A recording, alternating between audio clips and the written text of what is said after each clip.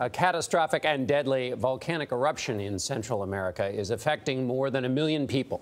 Guatemala's Volcan de Fuego, or Volcano of Fire, exploded just before noon yesterday. At least 25 people are dead.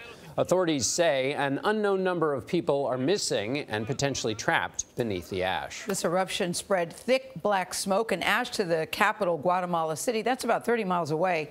More than 3,000 people were evacuated. Guatemala's president last night called for a declaration of emergency.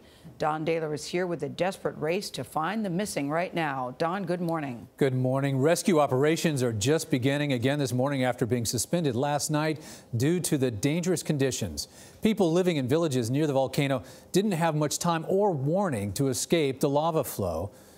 I want to warn you, some of these images you're about to see are graphic.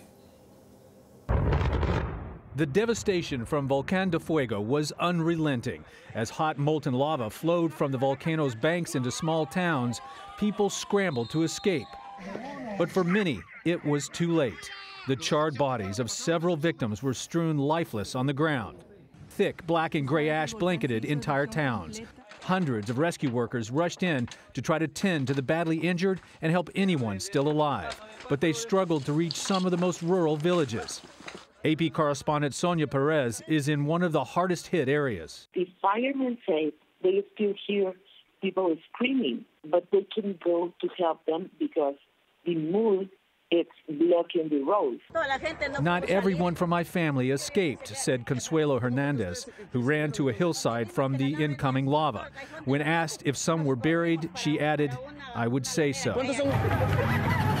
A high rising volcanic mud flow destroyed this highway bridge as several people shot video. They bolted away as the molten rock got too close.